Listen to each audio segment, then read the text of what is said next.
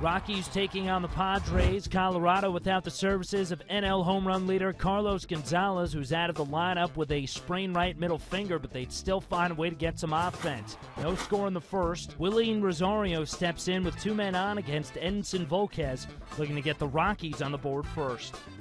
This ball toward the gap in left center field, just as you called. That's going to run all to the warning track. Cuddyer around third gets a green light. Throw on its way.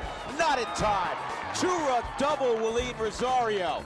The Rockies take a 2 0 lead. Tyler Chatwood got the start for Colorado, bottom of the fourth with a man on. He gets Jesus Guzman to ground into a force out at second to end the frame. Then in the fifth, Volquez batting. He hits a grounder up the middle. Jonathan Herrera, the nice diving stop, and the throw over to first in time to end the inning. Rockies lead 2 0 in the sixth. Runners on the corners. Herrera lays down the bunt. Volquez comes in on it, but he never fields it cleanly. Nolan Arenado comes in to score. Take another look. He never had full control of that ball. Rockies take a 3 0 lead. Bottom half of the inning, now 4 0. Everth Cabrera with a grounder that hits Chatwood in the leg. He recovers and throws to first in time for the out. He was a little bit shaken up on the play, but he would battle and remain in the game. Later in the frame, a man on second with two down, and Chatwood gets Carlos Quentin to ground out to end the inning. Rockies up 4 2 in the seventh, bases loaded. Rex Brothers dances out of trouble. He gets Chase Headley to pop out to end the frame.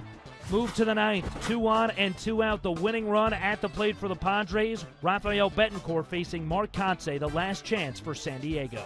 Here's the 2 1 in the air, left field. Dickerson is there, and the Rockies win it.